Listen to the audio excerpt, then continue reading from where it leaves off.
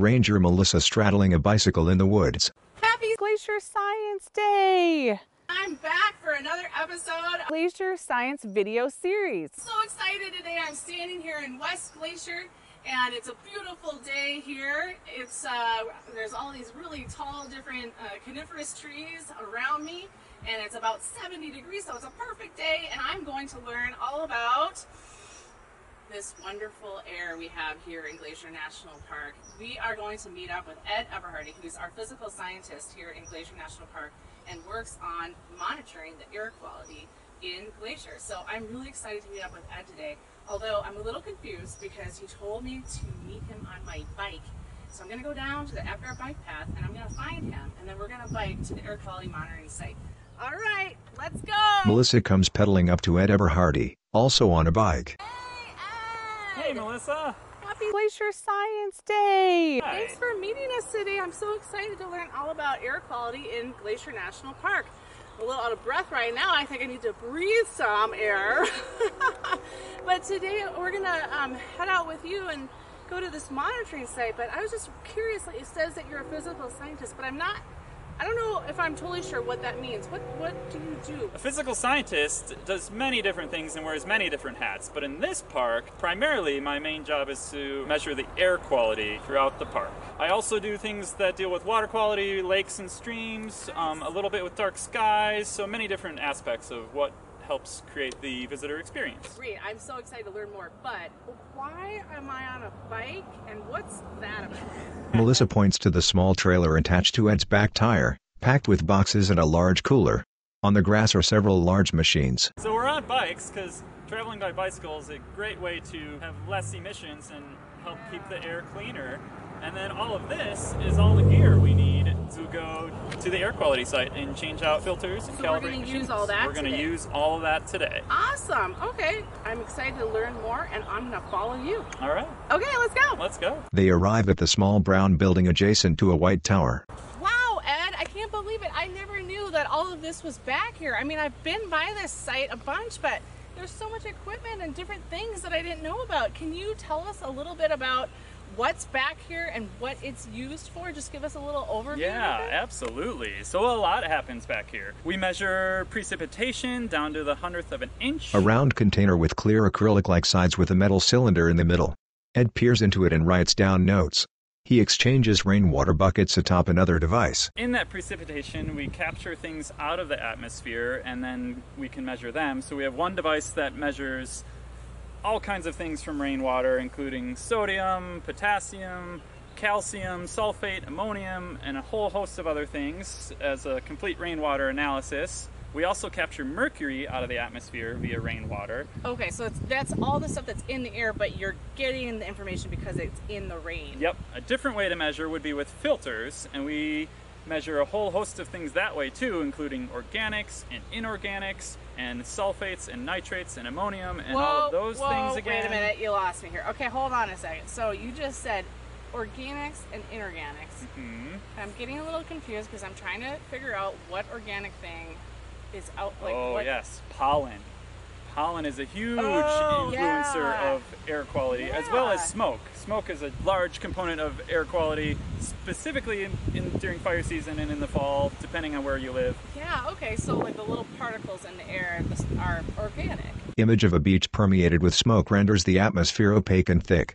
and the inorganic things would be like what you just said, like the mercury. And Potassium and the, the elemental Okay. items. I yes. see. Yep. Okay, that makes sense. Okay, great. Yeah, and then on top of that, we also measure ozone, which at ground level ozone has a very different influence than high atmosphere level ozone. Text, ozone injured plants. The leaves' forest green color has taken on splotches of yellow.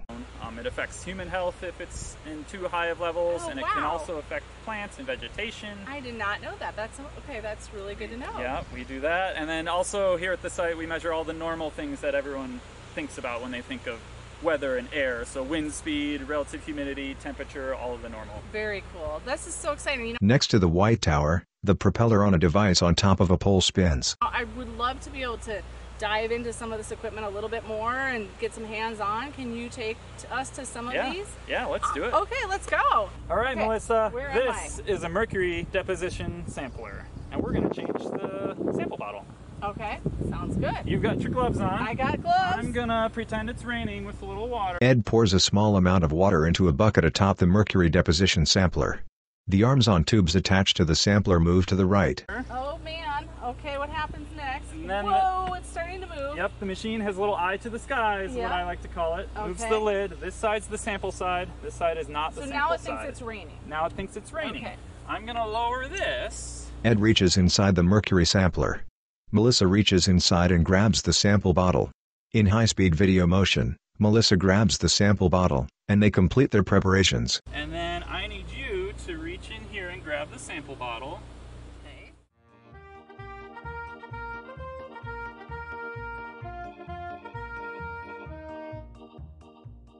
Now we get to put the new sample bottle in. I'm ready. So, Okay. I'm gonna open the bag. There's stuff in it. Ed holds up the plastic sack containing the bottle. There is. What's in it? There is a buffer solution of hydrochloric acid which preserves the mercury between when it rains and when the lab analyzes it. Aha! Yeah. Very interesting. So pop the lid off there. In fast motion, they place a clear funnel atop the hydrochloric acid. And then for the sample that we took, I saw that you put it in a cooler. Inside the red cooler which contains two plastic bags. Yep, so the samples get shipped in a cooler, which just protects them. Um, they're sent to a lab in Madison, Wisconsin that analyzes them. Where's the mercury coming from? Like, how does it get in the atmosphere? So, mercury primarily comes from industry. It's mainly emissions from different types of manufacturing and factories. Um, and it's often brought into the park from faraway places because air masses move and carry things throughout the country. Two black metal fan gadgets spin atop a tall black pole. An image of a lake with sloping mountain ranges on either side. Shimmering sun rays break through some dark clouds in the sky, reflecting off the still water below. A lot of the air in the park, or all of it, comes from somewhere else. Thankfully, mercury here in the park hasn't really increased or decreased. It's been a pretty constant low level. Yes, which that's is awesome. yep, we're happy to see. So now we're done with the mercury. What are you going to show us next? Are you going to show us another piece of equipment? Yeah, should we check out the ozone? Yes, I want to. Yes, I have lots of questions for you. Cool. Okay. Okay, so we are at the ozone building. Ed and Melissa have returned to the small white tower. Kinda. It's actually a lot more goes on in here than just ozone. There are ozone analyzers, um, and they have to be inside a shed because they require a controlled environment to accurately measure how much ozone is in the air. Okay. Um, but then there's also another filter device on here, some other just general weather instruments, Okay. um, and computers that help communicate all of that information real time to the folks that. On four shelves inside the tower building is an E ESC 8864 measurement device, several boxes, a laptop, and a thermoscientific analyzer. What is Cool. happening here? So, we are about to lower this tower that is 10 meters tall because at 10 meters is where we measure ozone. The oh, okay, you told us about measuring ozone. Yep. And you said something about the ozone that you think of in the top of the atmosphere is different than the ozone down low. And I didn't want to interrupt, but I'm a little confused. I understand how the ozone in the atmosphere works, but I don't get this other thing you're talking about with ozone down low. Yep, so we like to refer to it as ground level ozone. An illustration denoting the three layers of ozone in the atmosphere. Text, pollution plus heat and sunlight equals ozone. Source, www.climatecentral.org. Um, it has an impact on human health, it impacts vegetation, all the things around us at this level. The primary producer of it would actually be volatile organic compounds. So that is a constituent of a lot of emissions from cars and vehicles. A snarl of congested traffic on a roadway and an adjacent parking lot demonstrates the cause of ozone. But those compounds grab energy from the sun and convert oxygen into ozone at the ground level. Whoa! Yes. What? I never even knew that. And then that affects the your, everything on the ground, like Everything. plants, animals, All of us. people. So that's why we monitor it. Yep. That's why we're promoting to not leave your car idling. If you have a chance to turn it off, Yes. please do so. turn the key. that all affects both the air quality here in the park, but also the air east of us or wherever this air mass we're currently in is moving. An image of a woman standing at the edge of a cliff high above mountains leading to a snaking river far below. The sky is tinged with hues of orange, pink, and yellow. Okay, It's a way to so monitor. yep, so we measure at 10 meters up, and we're gonna have Melissa lower the tower so we can change the filter. And I have no idea what I'm doing. Melissa grabs the rope on the tower. Yep. So I'm gonna remove the the safety here. Oh Don't my worry, it's not actually dangerous. Oh, man. You're gonna grab this Okay. like you're going fishing, Yeah. and hold on. I'm holding on. Oh, Ed pulls the attached tubes away, still connected to the rope. I'll let it let it go, but okay. and we're gonna bring the other end down. There we go. A bucket filter attached to the other end of the tubes reaches the ground on the far side. That's awesome. And on this end is the filter. Do I tie anything up? Nope, that's set. Okay. Oh yeah. Okay. I see it.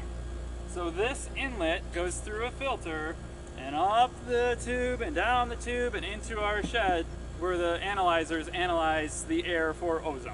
And you were telling me that you have to come every Tuesday. Why do you do Yeah, that? so it's actually Happy Science Tuesday. uh, so nationwide, yeah, don't tell anybody. nationwide, Tuesday is when these site visits happen. So while I'm just doing my little part here, I'm actually part of all of the other hundreds of folks doing this same thing on a Tuesday across the country. Wow, that is so cool. So everybody's doing it at the same time. And I would imagine because it's the air and it goes everywhere, having that knowledge is important because this, this air could be in Seattle tomorrow. That's right. Awesome. That is super cool, Ed. Well, thanks for showing us the, I cannot remember what the name of it was, the ozone. This is ozone, yep. Oh, okay, well, there's a phenometer and a nanometer. what is it called? what? That's a nephelometer.